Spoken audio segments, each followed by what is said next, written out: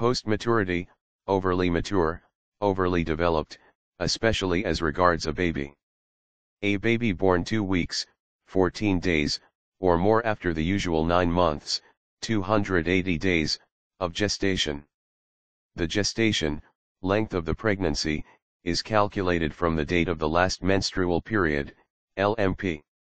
This is an important calculation since, if delivery is delayed 3 weeks beyond term, the infant mortality rate skyrockets to 3 times normal. The definition of a post-mature infant has evolved.